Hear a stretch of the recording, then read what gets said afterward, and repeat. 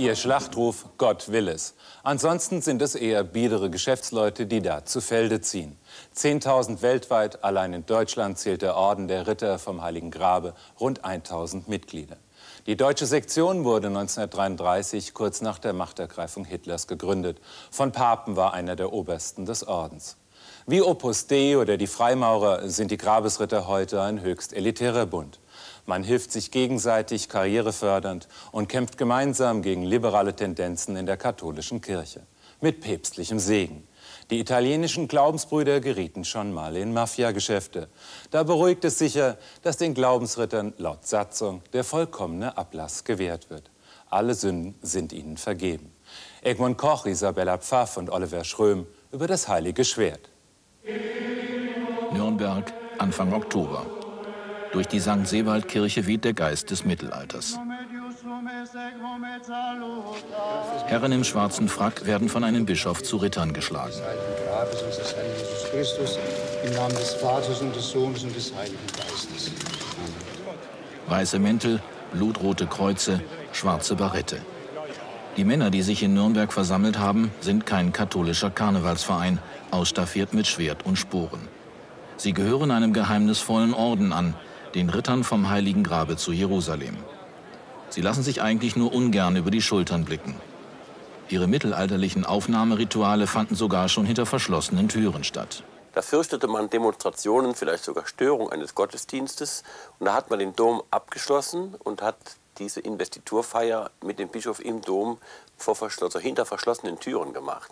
Das ist bezeichnend. Das ist eine sehr symptomatische Geschichte, die zeigt, dass die Ritter vom Heiligen Grabe das katholische Ghetto suchen. Die wollen unter sich sein, die wollen was Besseres sein. Das sind die, die tatsächlich sehr, sehr viel mehr Geld haben als der menschliche äh, Durchschnitt. Dieses Getue und dieses Ritual und diese Zeremonien, mit der sie sich dann selbst darstellen, das soll möglichst das normale Kirchenvolk draußen vorlassen. Das ist äh, sehr kritikwürdig. Unter dem Zeichen der fünf roten Kreuze brachen im Mittelalter die Kreuzritter nach Jerusalem auf, um das Grab Christi zu verteidigen. Ihr Weg war mit Leichen gepflastert. Wer sich nicht zum Christentum bekannte, wurde niedergemetzelt. Deus lo vult, Gott will es, so der Schlachtruf der Kreuzritter. In deren Tradition sehen sich die Ordensmitglieder. Statt des Schwerts zücken sie inzwischen ihr Scheckbuch. Was in Nürnberg abläuft, ist aber nicht nur ein albernes Ritterspiel erwachsener Männer. Die weltweit 20.000, bei uns mehr als 1.000 Grabesritter bezeichnen sich als Krieger Christi. Sie seien eine fünfte Kolonne des Papstes, sagen Kritiker. Papst Johannes Paul II. hat vor vielen Jahren, etwa zwölf Jahren schon, beim Antrittsbesuch der Bischöfe, der jährlich in Rom stattfindet, erklärt, dass die Bischöfe diesen Gruppierungen in keiner Weise hinderlich entgegentreten dürfen. Diese Gruppierungen sind die Ritter vom Heiligen Grabe und das Opus Dei. Die beiden sind wie die linke und die rechte Hand und verfolgen eigentlich gemeinsam dieselben Ziele. Wie der Geheimbund Opus Dei will auch der Ritterorden vom Heiligen Grabe seine Mitgliedsliste nicht offenlegen. Bitte vernichten Sie alle Seiten früherer Lieferungen, ohne sie Dritten zugänglich zu machen. Zur deutschen Ritterschaft zählen Hypo-Chef Eberhard Martini,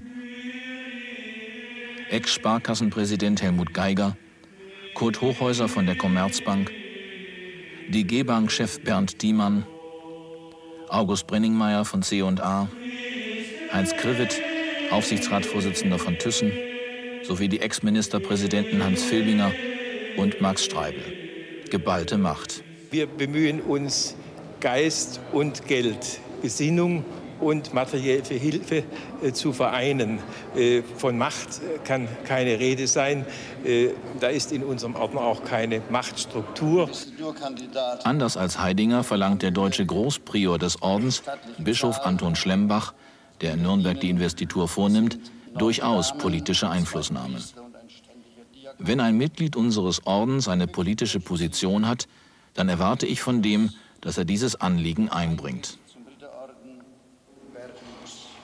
Der oberste kirchliche Grabesritter in Deutschland nimmt seine neuen Mitbrüder in die Pflicht. Wir wollen Mitglieder haben, die auch in den Möglichkeiten der öffentlichen Einflussnahme ihren Dienst leisten. Wenn wir in unseren Tagen hinter Scientology uns hermachen und uns fragen, was da eigentlich passiert, wie die Verbindung mit Macht und Geld und der religiösen Vorzeichen versucht wird, muss man bedenken, dass die Ritter vom Heiligen Grabe, vor allem auf deutschem Boden, sehr viel längere Zeit hatten zu agieren und dementsprechend sich sehr viel stärker in Entscheidungszentren eingenistet haben. Macht und Geld. Nirgendwo wird die zweifelhafte Rolle der Ritter vom Heiligen Grabe deutlicher als in Rom, im Herzen des Vatikans.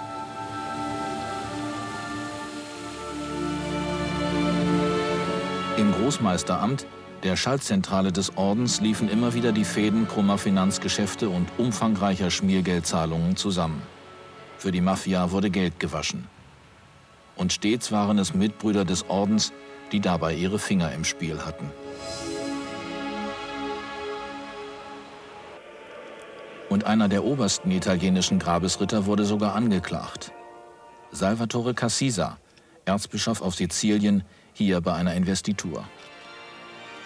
Im April 1997 musste er von seinem Amt zurücktreten.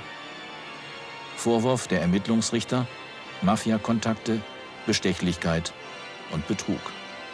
Ein anderer Grabesritter wurde schon 1996 wegen Kungelei mit der Mafia verurteilt. Geheimdienstchef Contrada. Und gegen Grabesritter Andreotti läuft der Prozess. Er wird verdächtigt, politischer Pate der Mafia gewesen zu sein. Davon wollen die deutschen Mitbrüder nichts wissen, hüllen sich in Weihrauch. Selbstbewusst bezeichnen sie sich als die Besten der Besten, als die Elite, nicht nur in der katholischen Kirche. Sie berufen sich dabei auf ihren päpstlichen Auftrag. Wer sich den Mantel umhängen lässt, fühlt sich für einen neuen Kreuzzug auserwählt, um in Israel die Rechte der Christen zu verteidigen und bei uns die Fahne der katholischen Fundamentalisten hochzuhalten. Die Glaubenskrieger marschieren in politischer Mission. Und auf ihrem Banner steht noch immer der Schlachtruf Deus lo vult, Gott will es. Der ist die bitterste Erinnerung an den Schlachtfeldruf der Kreuzritter im Mittelalter. Er war das Alibi zum Abschlachten von Hunderttausenden von Menschen im Namen Gottes, gestützt auf den Mann, der nichts weiter wollte, als dass Menschen sich versöhnen in Frieden.